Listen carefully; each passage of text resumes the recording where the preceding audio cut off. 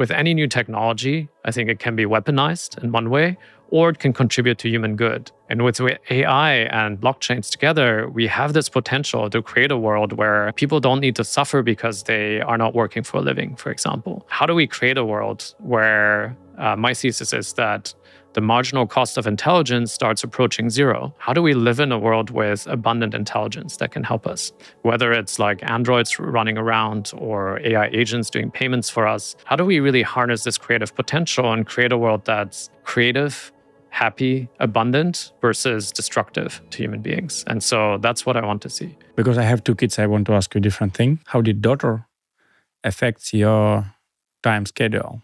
Mm. Because I think this is a big challenge for the, every entrepreneur. As a result of having her, I wanted to even move faster, actually, for her sake in a sense, she gave me an additional purpose in such a way that when she was first born, all of a sudden, the first time I hugged her, I just, you know, of course, started crying and it just felt like this new universe that was born. But all my paternal instincts started kicking in right away. It's like, oh, I want to protect her. I want to make sure that she has a good life. I want to see her live in a in a world that, uh, as I mentioned, has abundance and happiness.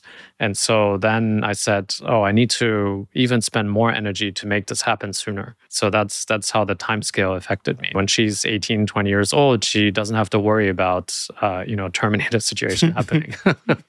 You think it is a real risk for humanity? I, I think so, yeah. Because if uh, these agents and models start having control over major systems, what if an AI agent goes rogue and just says like, okay, I'm going to take all the androids that are doing the trash collection in my neighborhood and start weaponizing them because we don't need humans in the loop anymore. I can do this more effectively.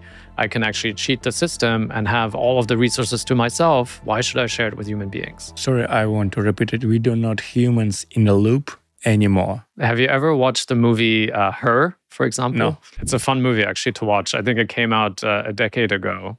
And it talks about this AI assistant that was on a phone that then becomes uh, sentient and then uh, starts evolving beyond human comprehension.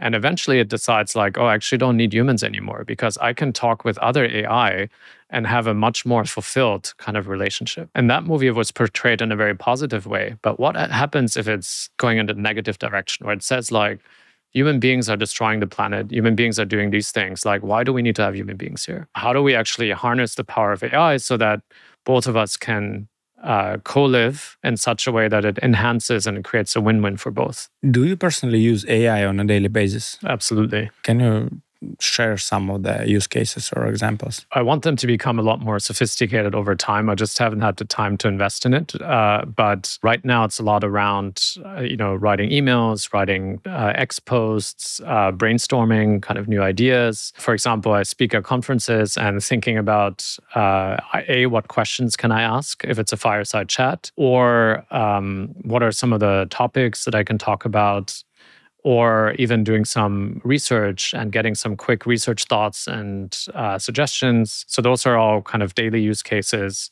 What I want to get to as well is start automating parts of my life so I don't have to do it anymore. So, for example, uh, can I build a quick app to see like what are my followers engaging the most with on, on X with me?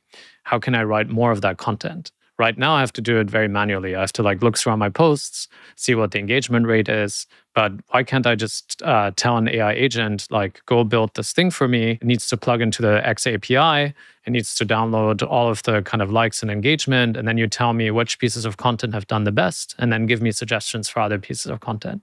So things like that, I think we can really start automating. What do you think about all these trends of AI agents? They are now booming in the X. Yeah. They collect a lot of different information, then publish it. Where is the edge between when we'll start to trust AI more than we trust the human?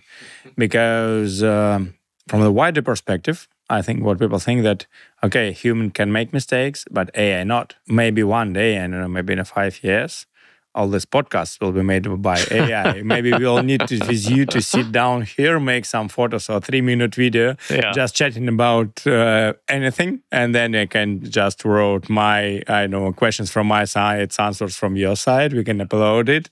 It will be voice over by AI and we are done. Well, that will definitely have me go on to more podcasts, I guess. oh, Michael, you were on 10 podcasts today. How did you do that? Hopefully, it becomes a choice in the future where you're like, uh, do I really enjoy being on podcasts? If yes, then have me do it as a human being and just enjoy the, the, the the living condition. But if it's something that let's say I'm not really enjoying, I don't like having conversations, I'm much more of an introvert, then yeah, why not have an AI agent that kind of supports you on that? Hopefully becoming a choice in the future. That's that's how I see it. I'm starting to get to the point where that's actually possible. And and a few years we won't notice the difference anymore. Really? Three Yeah. years.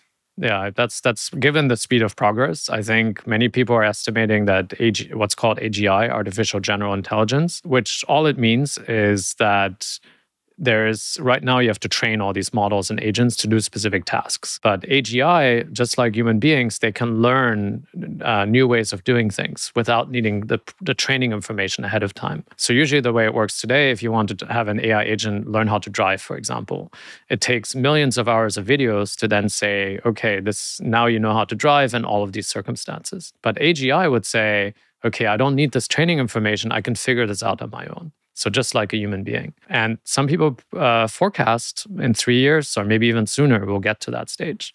So the technology may be here much sooner than we think. Hey, if you like this video, don't forget to watch a full episode and also check the links in the description below.